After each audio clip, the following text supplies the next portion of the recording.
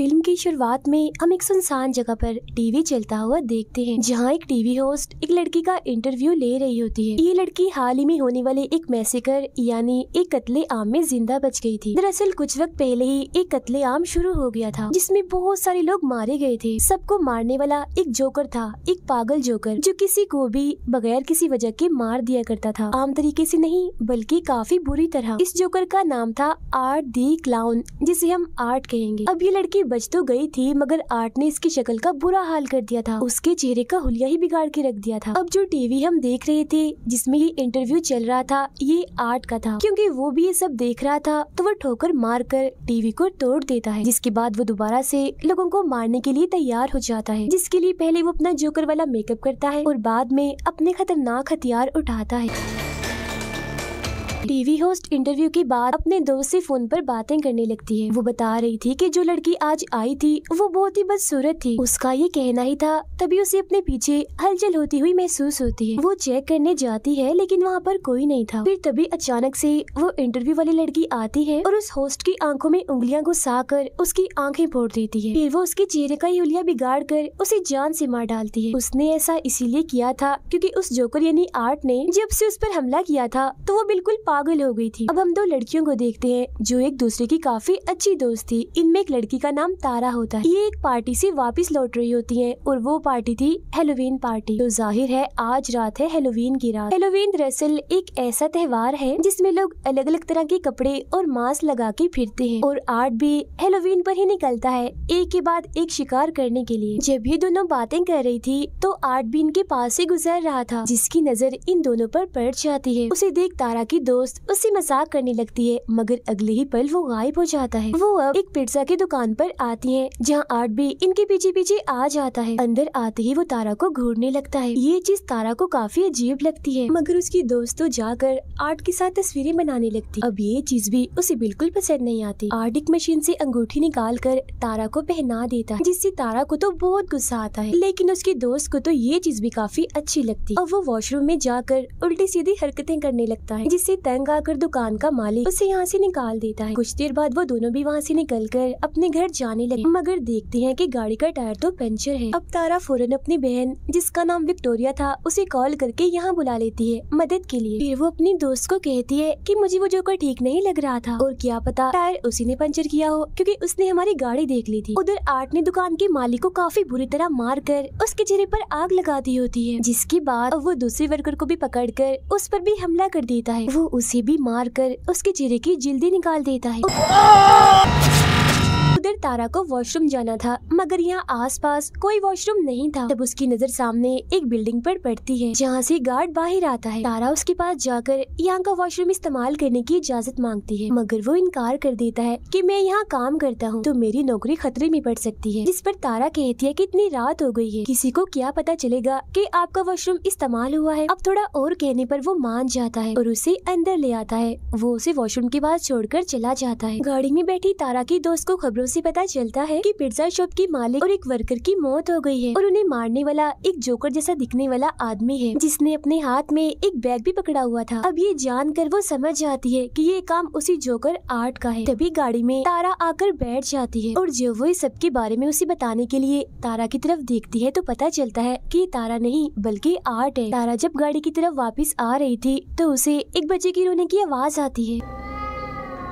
वो चेक करने जाती है, मगर वहाँ कोई भी नहीं था। तभी अचानक से पीछे एक औरत आ जाती है, जिसे अचानक देखकर तारा घबरा जाती है। औरत ने हाथ में एक गुड़िया पकड़ी हुई थी, जिसे वो अपने बेटे कह रही थी। दरअसल इसका जहनी तवाजन ठीक नहीं था, ये पागल थी। अब तारा उसी बातों में उलझा कर आगे बढ़ती है, जहाँ एक बार फिर उसका सामना होता है आर्ट दी क्लाउन से, जिसके हाथों पर खून लगा हुआ था और वो एकदम शांत खड़ा था। मगर फिर अगले ही पल वो तारा को डरा देता है तो वो यहाँ से भाग जाती है। भागते भागते वो एक गाड़ी के पीछे आकर छुप जाती है। आर्ट भी उसे ढूँढने के लिए यहाँ आता है, मगर जब वो नहीं मिलती तो वो चला जाता है। तारा को लगता है कि अब सब ठीक है तो वो यहाँ से निकलने लगती है। मगर तभी पीछे से आर्ट उस पर हमला कर देता है और अपने गुजार से उस पर कई बार वार करता है। फिर वो उसका गला घोट कर उसे मारने ही वाला था, मगर तभी तारा के हाथ एक नोकदार चीज़ लग जाती है, जिससे वो आर्ट पर हमला करके यहाँ से भाग जाती। अब यहाँ का दरवाज़ा बंद था, जिसे वो नहीं खोल पाती, इसीलिए वो इधर ही छुप जाती है। तब आर्ट भी यहाँ आता है तो वो कोई चीज़ फेंक कर उसके उसका ध्यान भटकाती है और दूसरी तरफ़ भेज देती है। अब वो दोबारा से निकलने की कोशिश करती है तो देखती है कि आर्ट ने तो यहाँ का मेन दरवाज़ा भी बंद कर दिया है। वो सीढ़ियों के ज़रिए ऊपर आती है तो सामने एक जगह पर वो गार्ड को खड़ा हुआ पाती है। वो उसे काफ़ी आवाज़ें लगाती है, मगर वो नहीं सुनता, क्योंकि उस वक्त वो गाने सुनने में मगन होता है। अब उसकी आवाज़ सुनकर आर्ट वहाँ आ जाता है और पीछे से उसे पकड़कर गले में इंजेक्शन लगाकर बेहोश कर देता है। अगले सीन में जब तारा को होश आती है तो वो खुद को एक कुर्सी पर बंधा हुआ पाती है। उसके मुँह पर भी टेप लगी हुई थी। उसके पास ही में आर्ट भी बैठा होता है और जब वो देखता है कि तारा को होश आ गई है तो वो उसे अपने हथियारों से डराने लगता है। फिर वो लाता है एक आरी और सामने का पर्दा हटाता है, जहाँ उसने तारा की दोस्त को उल्टा लटकाया हुआ था। क्यूँकी गाड़ी में जब वो उसके साथ आकर बैठा था तो उसने तभी उसे पकड़ लिया था। वो यहाँ बेरहमी की सारी हदें ही पार कर देता है। वो आरी से उसका पेट ही काट कर दो हिस्सों में बांट देता है। अपनी दोस्त का इतना बुरा हाल देखकर तारा की तबीयत भी खराब होने लगती है। मगर फिर वो हिम्मत करती है और काफ़ी कोशिश करने के बाद खुद को छुड़वा लेती है। वो उसी के हथियार से आर्ट पर हमला करके यहाँ से भाग जाती है। आर्ट भी उसके पीछे पीछे जाकर ढूँढने लगता है, मगर वो पीछे से आकर एक बार फिर उस पर हमला कर देती है। वो उसे काफ़ी देर तक मारती रहती है। अब जब गेम उल्टी पड़ रही थी, यानी तारा उस पर भारी पड़ रही थी तो वो यहाँ पर बेईमानी करता है। वो हाथों से नहीं लड़ता, वो करता है गन का इस्तेमाल। वो गोली पहले उसकी टांग पर मारता है और बाद में उसके चेहरे पर, जिससे वो काफ़ी जख्मी और अधमरी हो गई थी। अब गन में गोलियाँ खत्म हो गई थी, इसलिए जब वो गोलियाँ लेने जाता है तो यहाँ उसी तारा का मोबाइल मिलता है, जिस पर तारा की बहन विक्टोरिया का मैसेज आया होता है की मैं बिल्डिंग के बाहर आ गई हूँ। तब आर्ट तारा बन के मैसेज करता है और पीछे के दरवाजे से अंदर आने का कहता है। ऐसा करने के बाद वो तारा की दोस्त की लाश के साथ तस्वीर बनाता है और लाश की हालत का हम बड़ा ही बुरा हाल देखते हैं। पूरी चिरी हुई, दो हिस्सों में बटी हुई। अब वो जाता है तारा के पास और उस पर भी अंधाधुन गोलियाँ चलाकर उसे मार डालता है। वो पागल औरत भी यहीं खड़ी हुई थी और उसे ऐसा करता हुआ देख रही थी। ये सब देखकर वो जाती है गार्ड के पास और उसे सारी सूरत हाल समझाने की कोशिश करती है। मगर वो उसकी बातों का यकीन नहीं करता। फिर वो नीचे जाकर किसी को फ़ोन करने लगता है। मगर तभी यहाँ आट आकर हथौड़ी से उस पर हमला कर देता है। पागल औरत देखती है कि उसका बच्चा, जो वो गुड़िया थी, वो गायब है। मगर अगले ही पल उसे आर्ट दिखता है, जिसके हाथ में वो अपने बच्चे को देखती है। वो उसके पास जाकर पूछती है, क्या तुम्हें जरा भी इंसानियत नहीं है? जरा भी ममता नहीं है? तुम्हें बच्चों पर भी रहम नहीं आता? ये कहकर वो आर्ट को अपने साथ लगा लेती है, जैसे वो कोई बच्चा हो। और वो भी बिल्कुल ऐसी एक्टिंग करता है, जैसे वो सचमुच का बच्चा ही हो।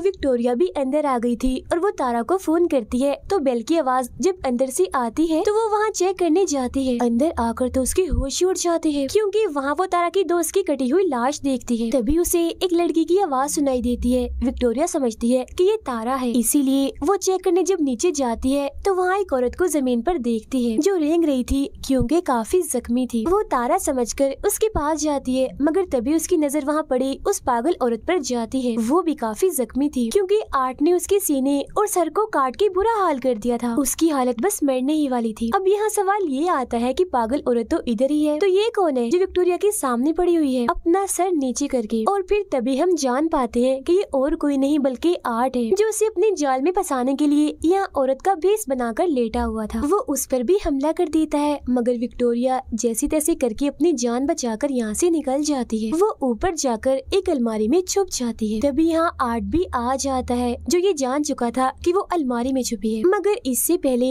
वो विक्टोरिया के साथ कुछ करता, उसे हॉर्न की आवाज़ आती है, जिसे चेक करने के लिए वो यहाँ से निकल जाता है। बाहर दरअसल आया था उस गार्ड का साथी, जिसे अंदर आना था। वो कारपेट हटाता है तो वहाँ चाबी पड़ी हुई थी, तब दरवाज़ा खोलकर वो अंदर आ जाता है। वहाँ उसे खून के निशान दिखते हैं, जो ज़ाहिर है काफ़ी अजीब था। मगर इससे पहले वो कुछ समझ पाता, आठ पीछे से आकर एक नोकदार चीज़ से उसके सर पर वार कर देता है। फिर वो उसका गला काट कर धड़ से ही अलग कर देता है। विक्टोरिया यहाँ से निकलने की कोशिश करती है, मगर कोई भी फ़ायदा नहीं होता। वो अपने सामने आर्ट को देखती है, जो छोटे बच्चे की साइकिल चला रहा था। मगर अगले ही पल वो यहाँ से गायब हो जाता है और वो साइकिल वहीं पर गिर जाती है। वो उसे बचते हुए यहाँ से निकलने की कोशिश करती है, मगर पीछे से आर्ट आकर उस पर हमला कर देता है। वो शॉपर से उसका दम घोट कर मारने ही वाला था, मगर वो बच जाती है। फिर वो एक नौकदार चीज़ उठाकर आर्ट के पैर में मारती है और यहाँ से भाग जाती है। वो सीधा आती है अपनी बहन तारा के पास और उसका इतना बुरा हाल देखकर टूट जाती है और रोने लगती है। वो अभी उधर बैठी ही थी कि तभी यहाँ आर्ट आकर उस पर हमला कर देता है। बार बार वार करके वो उसे काफ़ी मारता है, मगर तभी पीछे से गार्ड आकर आर्ट को मारकर बेहोश कर देता है। जी हाँ गार्ड, क्योंकि वो अभी ज़िंदा था। वो विक्टोरिया को लेकर एक कमरे में आता है और पुलिस को इस बारे में बताने लगता है। इस बीच वो देखता है कि विक्टोरिया की हालत काफ़ी खराब है। वो उसे अब इमरजेंसी कमरे की तरफ़ ले जाने लगता है। तभी यहाँ आर्ट एक बार फिर से आकर गार्ड पर हमला कर देता है वो पहले सिलेंडर से उसे मारता है और बाद में अपने पैर से उसका चेहरा ही कुचल देता है। अब घबराहट के आलम में विक्टोरिया एक लोहे की पाइप से ताला तोड़ने की कोशिश करती है, जो आर्ट ने यहाँ पर लगाए थे। ताला टूट तो जाता है, मगर इसका कोई फ़ायदा नहीं था, क्योंकि आर्ट उसके काफ़ी करीब आ गया था और फुरनी उसे पकड़कर मारने लगता है। मगर तभी विक्टोरिया उसकी आँख में एक चीज़ घुसाकर यहाँ से भाग जाती है। वो भागकर एक गिराज में आती है, मगर आर्ट इधर भी पहुँच जाता है। लेकिन क्योंकि यहाँ ताला लगा हुआ था, इसीलिए वो अंदर नहीं आ पाता। अब इतनी ही देर में पुलिस भी यहाँ पहुँच चुकी थी। लेकिन इससे पहले विक्टोरिया पुलिस के पास जाती आर्ट गाड़ी से गैराज का दरवाज़ा तोड़कर अंदर घुस आता है। अब क्योंकि वो गाड़ी से टकरा गई थी, इसीलिए बेहोश होकर नीचे गिर जाती है। फिर जब तक पुलिस यहाँ आती है तो तब आर्ट विक्टोरिया का चेहरा नोच नोच कर खा रहा था। अब पुलिस आर्ट को सरेंडर इन्हें हथियार डालने का बोलती है। मगर वो अपने मुँह में गन रखकर खुद को ही गोली मार लेता है। अब पुलिस को पता चलता है की विक्टोरिया मरी नहीं है, बल्कि अभी वो ज़िंदा है, बस काफ़ी जख्मी है। इसके बाद सबकी लाशों को हॉस्पिटल ले जाया जाता है। और जब डॉक्टर आर्ट की लाश को देखता है तो उसे काफ़ी अजीब लग रहा था, क्योंकि मरने के बाद भी वो मुस्कुरा रहा था। तभी यहाँ बिजली खराब होने लगती है और आर्ट उठ जाता है। उस डॉक्टर को गले से पकड़ लेता है, क्योंकि वो मरा नहीं था, बल्कि ज़िंदा था। इसका मतलब यही था कि अब वो लोगों को मारने का सिलसिला अब इस हॉस्पिटल से करेगा। अब कुछ वक्त गुजरता है और हम विक्टोरिया को देखते हैं, जो आखिरकार आर्ट का शिकार होने से बच गई। कल उसे इंटरव्यू के लिए भी जाना है और बाद हम उसका चेहरा देखते हैं, जो काफ़ी भयानक दिख रहा था, जो बिल्कुल वैसा दिख रहा था, जैसा इंटरव्यू वाली लड़की का था। अब यहाँ ये राज खुलता है की विक्टोरिया ही असल में वो लड़की है, जो शुरुआत में इंटरव्यू दे रही थी, जिसके बारे में कहा था की एक मैसे घर में बची है और एक जोकर ने ही सभी को मारा था। अब यहाँ सवाल ये उठता है की आर्ट ने अपने सर पर गोली मारी थी, मगर वो नहीं मरा। आखिर क्यूँ? क्यूँकी दरअसल, अभी तक जितने भी लोगों ने उसे मारने की कोशिश की, उन सबको ही मौत के घाट उतरना पड़ा। अब यहाँ ये चीज़ क्लियर नहीं हुई कि क्या उसे मारा जा सकता है या नहीं। हो सकता है कि उसे मारा जा भी सकता हो। तो अब ये जानने के लिए हम आगे बढ़ते जहाँ हम आर्ट को उसी हॉस्पिटल में देखते हैं, जब उसने डॉक्टर को पकड़ लिया था। वो डॉक्टर को मारकर काफ़ी जख्मी कर देता है और लगातार उसके पीछे पड़ा हुआ था। डॉक्टर खून में लथपथ था और वो रेंगता हुआ बाहर आता है और पुलिस को कॉल कर देता है। मगर उस बेचारे की तो आवाज़ ही नहीं निकलती, क्योंकि आर्ट ने उसके गले पर वार किया था। उसे और दर्द देने के लिए वो उसकी आँख निकाल कर पहले उसके साथ खेलता है और बाद में उसे अपनी फूटी हुई आँख की जगह लगा लेता है। और वो उसे और मारता है और आखिरकार उसका सर ही चीर कर उसे बड़ी भयानक मौत देता है। और वो जाता है एक लॉन्ड्री में, जहाँ एक आदमी सो रहा था। वो अपने कपड़े धोने के लिए मशीन में डालता है और फिर तभी यहाँ वो एक अजीब सी बच्ची को देखता है, जो बिल्कुल उसकी तरह ही पागल और हद से ज़्यादा अजीब थी। बिल्कुल आर्ट जैसी हरकतें कर रही थी। और तो उसने अपना मेकअप भी आर्ट जैसा ही किया हुआ था। दोनों एक दूसरे को देखकर काफ़ी खुश हो जाते हैं और साथ में खेलने लगते हैं। तभी वो आदमी जाग जाता है और देखता है की आर्ट अकेला ही तालियाँ बजा रहा है। मतलब की वो बच्ची सिर्फ़ आर्ट को ही दिखाई दे रही। अब आर्ट अपने कपड़े पहनकर यहाँ से जाने लगता है। जहाँ उसने उस आदमी को भी मार दिया होता है, उसके सर में चाकू घुसाकर। इसके बाद हमें दिखाई जाती है एक लड़की जिसका नाम सियाना है। वो अपने लिए एक खास किस्म का परियों वाला सूट बना रही थी, क्योंकि कल ही है हेलोवीन। अब सियाना अपने मोम और भाई के साथ खाना खा रही थी, जहाँ उसका भाई कहता है कि मैं कल हेलोवीन में आर्ट जैसे कपड़े पहनूँगा, जिस पर सियाना और उसकी मोम मना कर देती है कि नहीं आर्ट अच्छा जोकर नहीं है। उसने पिछले साल नौ से दस लोगों की जान ली थी, बड़ी बेरहमी से खाना खाने के बाद सियाना अपने मोम से अपने भाई के बारे में बात कर रही होती है कि वो काफ़ी अजीब होता जा रहा है। He was looking up serial killers. साथ ही इनकी बातों से हमें पता चलता है कि सियाना के डैड अब नहीं रहे। सियाना का भाई इंटरनेट पर आर्ट के बारे में सर्च कर रहा था और जितने लोगों को उसने मारा था वो सबके बारे में बड़े गौर से पढ़ रहा था। इसके बाद वो अपनी बहन सियाना के पास आता है और पूछता है कि क्या वो जोकर आर्ट अभी होगा? क्योंकि उसकी लाश नहीं मिली थी। जिस पर वो कहती है आर्ट मर चुका है और अगर ना भी मरा हुआ तो कम अज कम वो यहाँ यहाँ नहीं आएगा। इसके बाद सियाना एक टीवी शो देखते देखते सो जाती है। जहाँ वो जैसे सपना देखती है तो फ़ौरन ही वो उस टीवी शो में पहुँच जाती है। इधर वो भी किसी बच्चे की तरह ही बनी हुई थी और उसके साथ वाले सारे बच्चे काफ़ी इंजॉय कर रहे थे। यहाँ एक बच्चा आर्ट क्रिस्पीस नाम की एक चीज़ खा रहा था, जो कोई खाने के लायक चीज़ नहीं थी, बल्कि उसमें डाले हुए थे टूटे कांच के टुकड़े प्लेट्स और कीड़े मकोड़े। फ़ौरन ही वहाँ पर आ जाता है आर्ट दी क्लाउन और सबको गिफ्ट देने लगता है। लेकिन वो सियाना को बड़ी ही गंदी चीज़ देता है। एक बर्तन जिसमें धड़कते हुए दिल के साथ कुछ सांप और गोश्त था। जिसे देखकर उसे काफ़ी बुरा लगता है। फिर वो अपने बैग से बंदूक निकाल कर अंधाधुन गोलियाँ चलाकर सभी बच्चों को मार देता है। इस बीच सियाना भी जख्मी हो गई थी, मगर ज़िंदा थी। वो आगे बढ़ती है तो आर्ट उस पर आग फेंकता है। तो वो एक बॉक्स में से तलवार निकाल कर आगे कर देती है, जिससे आग उसका कुछ बिगाड़ नहीं पाती। असल में ये तलवार काफ़ी ताकतवर थी, जो सियाना को उसके डैड ने दी थी। अब इतना भयानक सपना देखकर वो डरते हुए अचानक से जाग जाती है और देखती है कि सच में उसके सामने वाले टेबल और टीवी पर आग लग चुकी है। तब उसकी मोम जल्दी से यहाँ आकर आग बुझाती है। सब कुछ नॉर्मल होता है तो सियाना की मोम उससे पूछती है कि तुमने जलती हुई मोमबत्तियाँ टेबल पर क्यों छोड़ी? जिस पर वो कहती है, मोम, मैंने तो मोमबत्तियों को जलाया तक नहीं था। सियाना अपने कमरे में जाकर उस तलवार को देखती है। जहाँ वो बिल्कुल ठीक पड़ी थी। उसे कुछ भी नहीं हुआ था। उधर आठ हेलोवीन की तैयारी कर रहा था। मतलब वो तेजदार हथियार बना रहा था मैसेकर करने के लिए। वो अजीब बच्ची जो उसके साथ ही टीवी चलाती है और वही शो देखने लगती है, जिसमें टीवी होस्ट विक्टोरिया का इंटरव्यू ले रही थी, जिसके बाद हमने देखा था कि आर्ट ने ठोकर मारकर टीवी तोड़ दिया था। तो यहाँ भी वो ऐसा ही करता है, क्योंकि ये वही सीन है। स्कूल में सियाना का भाई और उसके दोस्त एक मरे हुए चूहे को देख रहे थे। तभी यहाँ टीचर आती है और तीनों को डांट कर क्लास में जाने का कहती है। क्लास खत्म होने के बाद जब सियाना का भाई नीचे आता है तो वो अपने सामने पाता है आर्ट और उस अजीब बच्ची को, जो उस मरे हुए चूहे के साथ खेल रहे थे। उन्हें देखकर वो डरने लगता है। तभी उन दोनों की नज़र भी उस पर पड़ जाती है। जो देख डरते हुए वो यहाँ से भागने लगता है। मगर रास्ते में ही एक टीचर उसे देख लेती है और वो उसे रोकने की कोशिश करती है, मगर वो नहीं रुकता। तब चेक करने के लिए वो टीचर जब अंदर जाती है तो ज़मीन पर मरे हुए चूहे को देखती है। जो देख उसी लगता है कि ये काम ज़रूर सियाना के भाई का ही है। सियाना को हम अपने दोस्तों से बातें करते हुए देखते हैं, जहाँ वो आर्ट की बातें कर रही थी। और ये भी कि उस भयानक दिखने वाली विक्टोरिया ने टीवी होस्ट की आँखें फोड़ दी। अब ये सारी बातें सुनकर सियाना को काफ़ी अजीब सा महसूस होने लगता है और वो यहाँ से उठकर चली जाती है। उसकी दोस्तें भी उसके पास आकर पूछती हैं कि आखिर बात क्या है? तुम इतनी घबराई हुई क्यों हो? जो सुन सियाना उन्हें अपने सपने के बारे में बताती है, साथ ही वो काफ़ी डरी हुई भी Candles burning. अगले दिन वो अपने दोस्त के साथ हेलोवीन की शॉपिंग करने चली जाती है। उसकी दोस्त को कॉल आ जाती है, जो सुनने वो बाहर चली गई थी। तब बदकिस्मती से वहाँ आ जाता है आर्ट दी क्लाउन तब सियाना उसे बचते हुए ऊपर चली जाती है और कुछ खरीदने की एक्टिंग करने लगती है। लेकिन मुसीबत, वो अपना बैग तो नीचे ही भूल गई थी, जिसमें पैसे रखे थे। तब पलक झपकते ही आर्ट उसका बैग लेकर आता है तो वो पैसे देती है। लेकिन यहाँ आर्ट उसे परेशान करने का, तंग करने का कोई मौका नहीं छोड़ता। मगर सियाना अभी भी इस सोच में है कि ये सच में आर्ट ही है या कोई उसके साथ मज़ाक कर रहा है, पर इसके बाद वो यहाँ से चली जाती है। उसके जाते ही आर्ट दुकान बंद कर देता है। मतलब वो टैग जिस पर दुकान खुली लिखा था, वो उसे पलट कर बंद की तरफ़ कर देता है। इसके बाद वो अपने लिए एक छोटा सा बाजा खरीदता है। मगर पैसे देने की बजाय वो अपने हथियार बाहर निकालने लगता है। जो देख दुकानदार को गुस्सा आ जाता है और वो आर्ट को बातें सुनाने लगता है। तब उसका मुँह बंद करने के लिए आर्ट पहले उसके सर पर बोतल से मारता है और बाद में उसकी आँख में एक मोटी चीज़ घुसा देता है। इस सबसे भी जब उसका दिल नहीं भरता तो पहले वो बड़ी सी चाकू से उसके सर पर वार करता है और बाद में उसके गले पर मार कर जिसम से ही अलग कर देता है।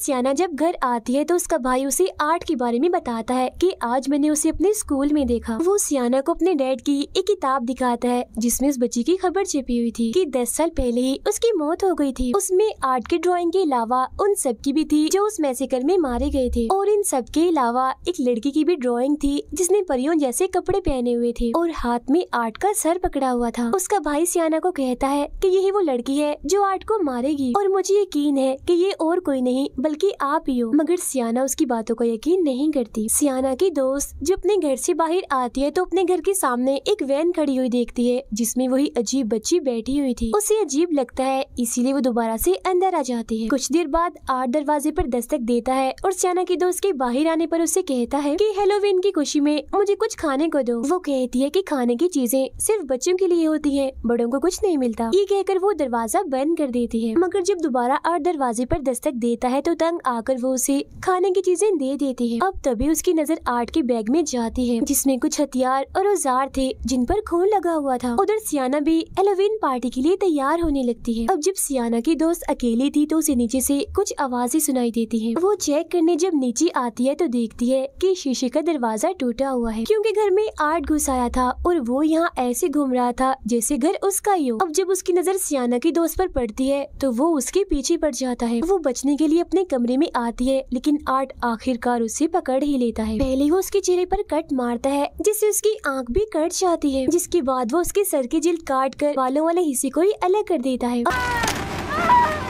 अब बेरहमी उसकी हद से बढ़ जाती है, क्योंकि वो चाकू से उसकी पीठ को काफ़ी गहरा काट देता है। वो फिर उसकी बाजू ही उसके जिस्म से अलग कर देता है। अभी भी उसका दिल नहीं भरता तो वो अपने हाथों से ही उसके चेहरे की स्किन नोच नोच कर अलग कर देता है। वो उसका बहुत बुरा हाल कर देता है। काफ़ी खून बह रहा था उसका। कुछ वक्त के बाद जब उसकी मोम घर आती है तो वो ऊपर आकर बड़ा ही भयानक नज़ारा देखती है कि पूरा कमरा खून से भरा पड़ा है और वो खून है उनकी बेटी का। जहाँ अब बाट उसकी बची हुई जिस्म की चीर फाड़ कर रहा था, उसका बहुत ही बुरा हाल था, मगर हैरत कि वो अभी भी ज़िंदा थी। इसके बाद वो उसकी मोम को भी काफ़ी बुरी तरह से मार देता है। फिर जब बच्चे हेलोवीन की चीज़ लेने आते हैं तो वो बच्चों को उस लड़की की मोम के सर में कैंडिस रख कर देता है। बच्चे कुछ भी समझ नहीं पाते, उन्हें ये नकली सर लगता है और वो यहाँ से चले जाते हैं। उधर हेलोवीन पार्टी में सियाना को अपनी दोस्त की फ़िक्र हो रही थी, क्योंकि अभी तक वो पार्टी में नहीं आई थी, जबकि उसके बाकी दोस्त पार्टी में आ गए थे। और अब वो डांस करने लगते हैं और काफ़ी मज़े कर रहे थे। सियाना के भाई को हम उसके कमरे में देखते हैं, क्योंकि उसकी मोम ने उसे पार्टी में जाने नहीं दिया था। आर्ट के बारे में बताने के लिए वो अपनी मोम को अपने डैड की वही किताब दिखाता है, जिसे उसकी मोम फाड़ देती है। वो अपनी मोम से बदतमीजी करता है तो वो उसे थप्पड़ लगा देती है। तो वो गुस्सा होकर अपने घर से निकल जाता है। जब उसकी मोम बाहर आती है तो देखती है की उनके बेटे ने सब कुछ खराब कर दिया है। यहाँ तक की गाड़ी भी गंदी कर दी थी और उस पर अपनी माँ के लिए गाली लिख दी थी, जो देख उसकी मोम को काफ़ी बुरा लगता है। सियाना के भाई को वही दिखती है, जिसमें वो उसी अजीब सी बच्ची को बैठा हुआ पाता है। ये देखकर तो उसकी हालत ही खराब हो जाती है और वो फ़ौरन ही अपने घर की तरफ़ भाग जाता है। अब सियाना की मोम गाड़ी साफ़ करने लगती है। इस बात से अनजान होकर कि इसमें आर्ट बैठा हुआ है, जिसका साफ़ मतलब था कि गाड़ी का ऐसा हाल और किसी ने नहीं, बल्कि आर्ट ने किया है। फिर जैसे वो शीशा साफ़ करती है, अंदर आर्ट को बैठा हुआ देख लेती है। मगर कुछ सोचने समझने का मौका दिए बगैर वो उनके सर पर गोली मारकर हट से ही अलग कर देता है। जब सियाना का भाई घर आता है तो देखता है कि आर्ट ने उसकी मोम की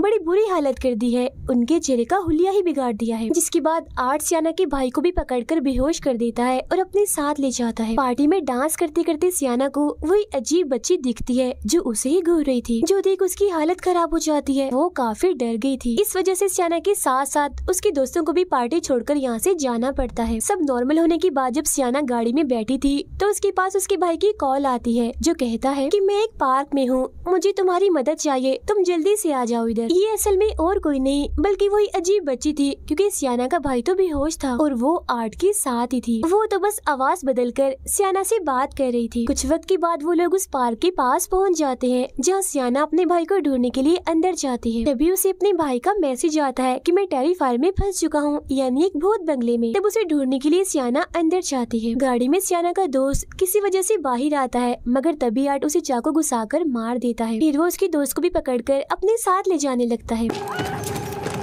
मगर वो आर्ट को टांग मारकर जैसी तैसी बच जाती है और यहाँ से भाग जाती है। भागते भागते वो एक ऐसे कमरे में जाती है जहाँ चारों तरफ़ दीवारों पर खून लगा हुआ था। तभी इधर आर्ट भी आ जाता है और उसके चेहरे पर तेजाब डाल देता है, जिससे उसका सारा चेहरा जलकर झुलस जाता है। चेहरे का बुरा हाल हो जाता है। फिर वो अपने तेज कीलों वाले हथियार से बार बार उसे मार कर बची हुई कसर भी पूरी कर देता है और उसे भी बड़ी बेरहमी वाली मौत देता है। तभी यहाँ सियाना भी आ जाती है और अपने दोस्त की इतनी बुरी हालत देखकर काफ़ी डर जाती है। इधर आर्ट भी खड़ा था। मगर इससे पहले वो सियाना को मारता। पीछे से आ जाता है उसका भाई, जिसे देखकर सियाना यहाँ से भागने का कहती है। और फिर आर्ट की टांग में एक लकड़ी घुसा देती है। मगर बेचारे की किस्मत खराब थी। वो उल्टा उसी से ही पिट जाती है। आर्ट उसे इधर उधर पटक पटक कर काफ़ी मारता है। सियाना का भाई जब यहाँ से भाग रहा होता है तो तभी आर्ट उसे पकड़ लेता है और बुरी तरह उस पर वार करने लगता है। फ़ौरन इधर सियाना आती है और कई बार आर्ट को मारकर उसे जख्मी कर देती है और अपने भाई को लेकर यहाँ से भाग जाती है। लेकिन आर्ट उनका पीछा करते करते यहाँ भी आ जाता है। वो एक बार फिर सियाना के भाई को कैंची वाली तलवार से पीटने लगता है। सियाना उसे बचाने की कोशिश तो करती है, मगर खुद भी काफ़ी पीट जाती है। उसके जिस्म के अलग अलग हिस्सों पर कट लग जाते हैं जिसे ज़ाहिर है उसे काफ़ी तकलीफ़ होती है। मगर किसी तरह दर्द बर्दाश्त करके वो आर्ट से उसका हथियार छीन लेती है। जहाँ अब बाजी पलट जाती है, क्योंकि अब वो आर्ट को बुरी तरह मार रही थी। थी। फिर वो उसके सर में एक पाइप घुसाकर बुरा हाल कर देती है। लेकिन अगले ही पल वो उठता है और सियाना को पकड़ लेता है। वो उसे मारने ही वाला था, मगर सियाना का भाई उसकी घर निकाल कर आर्ट को ही गोली मार देता है। तभी यहाँ वो बच्ची सियाना की मोम के रूप में आती है और उसकी आँखें बंद करके ये दिखाती है कि तुम्हारी मोम भी मारी गई है, जो देख सियाना की बची हुई हिम्मत भी खत्म होने लगती है। फिर वो देखती है कि उसका भाई यहाँ नहीं है। फिर वो अपने भाई को ढूंढती है तो पता चलता है कि आर्ट उसे एक अलग ही जगह पर ले आया। अब जैसे ही सियाना आर्ट के पास आती है तो वो उसे धक्का देकर नीचे बेसमेंट जैसी जगह पर गिरा देता है। लेकिन वो मरती नहीं, बच जाती है। तभी उसे नीचे एक जगह से कोई आवाज़ लगाने लगता है। इतनी ही देर में आर्ट उसके बहुत ही पास आके खड़ा हो जाता है और उसी जदुई तलवार से जो उसके डैड ने उसे दी थी, सियाना को मारकर नीचे गिरा देता है। अब की बार सियाना एक शो में आके गिरी थी, मगर वो एक शीशे के बॉक्स में बंद थी, जिसमें पानी भरा हुआ था। वो यहाँ से निकलने की काफ़ी कोशिश करती है, मगर नहीं निकल पाती और मर जाती है। उधर आर्ट सियाना के भाई को खाने लगता है, मगर जैसे उसका भाई चिल्लाता है